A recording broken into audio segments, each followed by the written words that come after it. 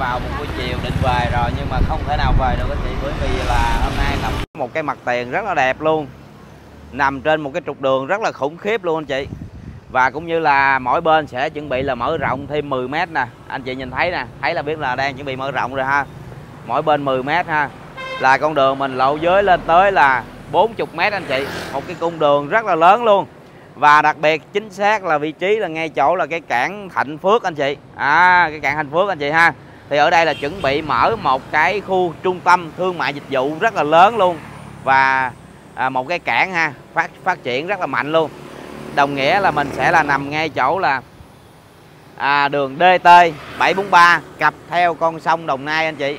Ven vách của mình là một cái sân gôn à, sân gót của à, Tăng Quyên anh chị ha. Và ở đây thì mình về trung tâm thành phố Tăng Quyên là chỉ khoảng là 3 km thôi mình đi hướng này nè mình quẹo trái là khoảng 3 km là mình về thành phố Tăng Quyên rồi. Đó, còn cái hướng ngược lại là mình sẽ là về ở vị trí là đường à, DT 743 là ngay vị trí là chợ Tăng Ba anh chị ha. Ở đây ra chợ Tăng Ba là 4 cây. Đó cũng như là ngay vị trí là à, mình sẽ là đấu nối giữa là Đồng Nai và à, Bình Dương cũng như là về Sài Gòn anh chị. Ra Tăng Ba mình vẹo vẹo trái là về Đồng Nai vẹo phải là về à, ngay chỗ là à, ngã sáu An Phú ha cũng như là đi à, thẳng luôn là về Dĩ An là về Sài Gòn anh chị ha. Đó, một vị trí kinh doanh rất tuyệt luôn. Và hiện tại thì hiện tại là đang cho thuê anh chị. Cho thuê dòng tiền thì cũng đang ít thôi bởi vì là hiện tại là mình chỉ cho thuê đất trống thôi nên là dòng tiền không có cao ha. Còn nếu mà anh chị xây dựng lên thì có thể là cho thuê dòng tiền rất là tốt luôn. Và Lộc sẽ báo giá luôn. Mặt tiền này hiện tại là đang có một mức giá là 4 tỷ 7 thôi anh chị. 4 tỷ 7 thôi ngang 6m dài là 30 32,5m anh chị ha. Tổng diện tích của mình là lên đến là một à, 180 mấy mét vuông á. Để làm coi là cho chính xác ha.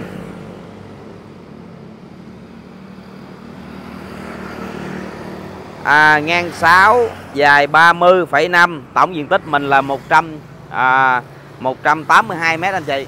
Đấy mặt tiền rất là rộng luôn ha ở đây là mình có thể là mở à, à, kinh doanh quán ăn rồi à, khách sạn cũng như là về à, nhà nghỉ đó rồi cũng như là cà phê đó spa đó. Ở đây là vị trí rất là đẹp luôn. Và đấu nối về à, trung tâm thành phố Tăng Nguyên thì chỉ 4 cây thôi là một cái vị trí khá đắc địa rồi anh chị. Ở đây thì khuôn viên thì nói chung là nhà đó thì cũng dạng như là để kinh doanh thôi nên là không gian nó cũng trống trải anh chị ha. Ở đây là mình sẽ có một cái kết cấu là xây dựng là à, để mà kinh doanh. À, nên là anh chị có thể là về setup theo cái mô hình mình. À, cũng rất là dễ dàng anh chị. Và tường rào thì cũng à, kiên cố rồi. À, anh chị là nếu mà về kinh doanh không á thì có thể là mình à, setup một cái phòng ngủ. À, cũng như là một cái bếp hoàn chỉnh nữa là mình có thể là kinh doanh tại vị trí này rồi. Thì à, ở đây thì mình sẽ về là ngay chỗ là à, ngã tư Linh Xuân cầu vượt à, Thủ Đức thì tầm khoảng là à, 15 cây anh chị ha. Cũng như là mình về Biên Hòa thì dao động là khoảng là đâu đó là khoảng 7 cây thôi. Và về ngay chỗ ngã sáu An Phú thì dao động là khoảng là 10 cây luôn. Đó một cái vị trí rất là đẹp luôn kinh doanh rất là nhiều anh chị. Đường này rất là rộng rãi luôn.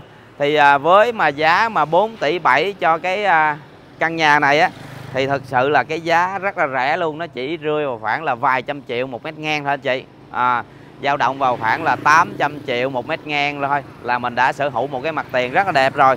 Chưa kể là mình còn được hương lượng nữa anh chị. À, mình có thể là hương lượng ha 800 triệu một mét ngang với một cái mặt tiền rất là đẹp luôn anh chị ha. Rồi anh chị nào cảm thấy à quên. À, căn nhà này hiện tại là đang nằm chính xác tọa lạc tại là à, phường Thạnh Phước thành phố Tân Nguyên tỉnh Bình Dương anh chị ha.